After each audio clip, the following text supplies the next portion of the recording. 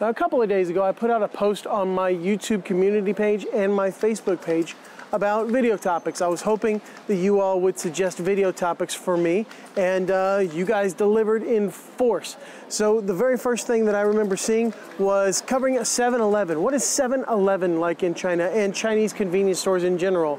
Well, you're in luck because I am just in front of a 7-Eleven today. It's the closest one to my house, but the thing is, it's under all of this crap. Uh, they're doing all this remodeling uh, around the first ring road here in Chengdu. But we're gonna go inside here and we're gonna take a look and see what 7-Eleven in China has to offer and the prices um, of most of the things you guys might wanna buy. The thing I like about 7-Eleven in China is that it's just a lot, a lot of snack food and like proper food. So you come in and you'll see things like um, coffees and things, seven yuan, a uh, little bit of makeup, 45, Coca-Cola 2.5 for a can. Uh, there's a lot of things. So you can, of course, get all these kinds of unique potato chip flavors that you don't get in the USA. Um, yeah, anything from cucumber to pure tomato flavor and wasabi and uh, matcha. So there's all kinds of things. All of these run six kwai, so less than one dollar for all of these. And then if you look over here, you've got beef jerky, which is uh, good enough. So this is 17.5 yuan for 35 grams. So I don't know if that's really expensive or not. I do not usually buy beef jerky. So I'm just gonna let you guys see the prices for these things right here. So it ranges from, you know, 10 to 35.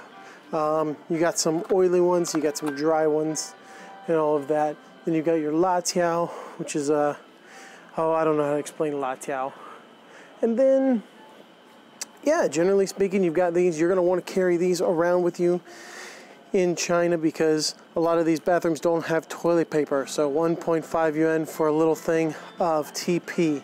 And all of this can be bought as well. So Kleenex is more tissues, about a dollar. Um, ladies needs 45 here, 39 etc., etc. You can buy underwear, you can buy socks, you can buy um, all kinds of stuff, school supplies. So here, let's take a look at my favorite part, which are the actual, like, it's the actual food and drink. So I, I quite like these 7-Eleven sandwiches, if I'm honest. Um, I think these are pretty good right here, the ham and egg. There's some ham and salami and cheese. And so it's just eight kwai, nine kwai, so a little over a dollar for sandwiches. So some of them are a little bit more, but I feel like it's a, a fair price. 8.9 for um, a kind of noodle dish. And um, it's, it's great. I do love 7-Eleven in China. Um, there's just, there are so, so, so many choices. Mm, so, so many choices. That's about $2. And um, you have all the drinks. So uh, if you've got kind of an upset stomach, I'd recommend this one. It's called Yoeci. Um, it's like a live culture um, probiotic thing.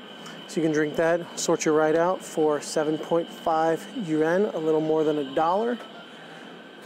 And um, then you get over here and do your more kind of Chinese food right here. So 10 kwai for something like this, 16 kwai for something like this. Um, is that rice with cheese on top of it?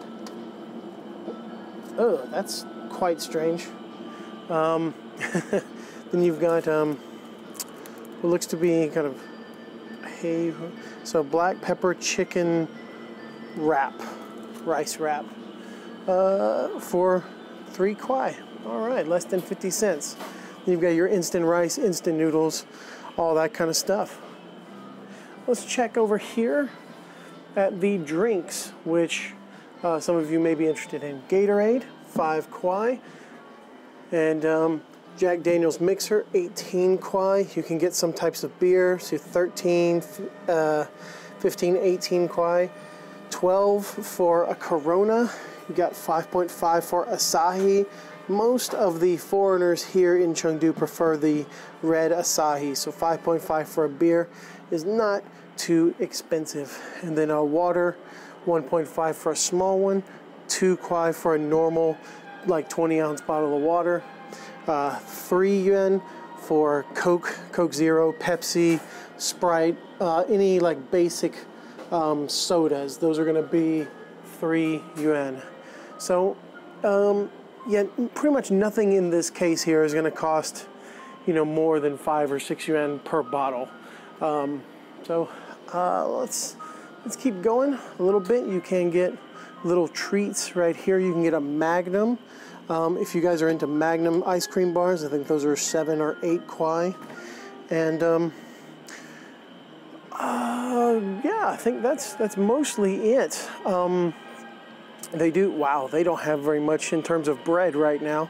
Um, but they do have like baked goods. They have terrible donuts. Don't get the donuts.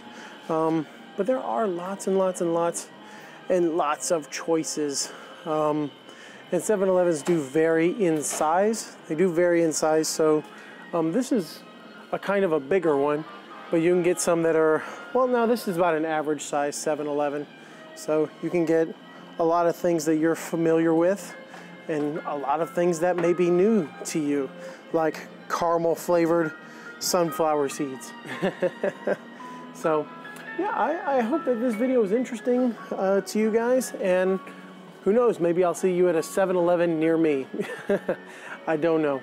So uh, thank you all for watching. Um, I hope that you will like and you know subscribe and all that. If you have any more suggestions for future videos, please, please, please let me know. Um, I would love to cover more and more about living in China for anybody who's willing to watch. So uh, yeah, I think I'm gonna grab one of these probiotic drinks because I really do love them. And I will um, see you all next time.